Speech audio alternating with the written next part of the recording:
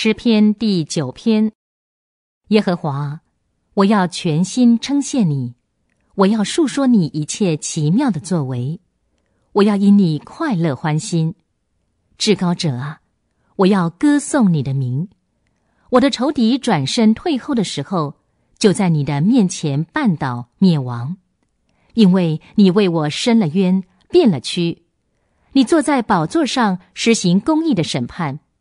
你斥责了列国，灭绝了恶人，你涂抹了他们的名，直到永永远远。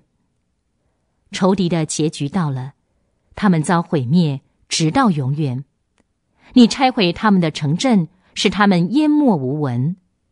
耶和华却永远坐着为王，为了施行审判，他已经设立宝座，他必以公义审判世界，按正直判断万民。耶和华要给受欺压的人做保障，做患难时的避难所。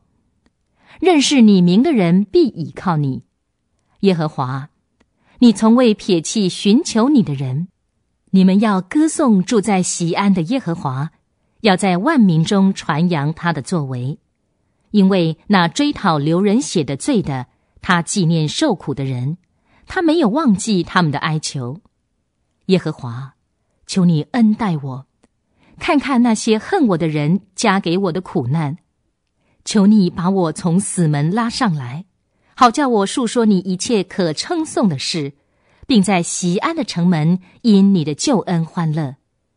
列国陷入自己挖掘的坑中，他们的脚在自己暗设的网里缠住了。耶和华已经把自己显明，又施行了审判。恶人被自己手所做的缠住了，恶人都必归到阴间，忘记神的列国都必灭亡。但贫穷的人必不会被永远遗忘，困苦人的希望也必不会永久落空。耶和华，求你起来，不要让世人得胜，愿列国都在你面前受审判。耶和华，求你使他们惊惧。愿列国都知道自己不过是人。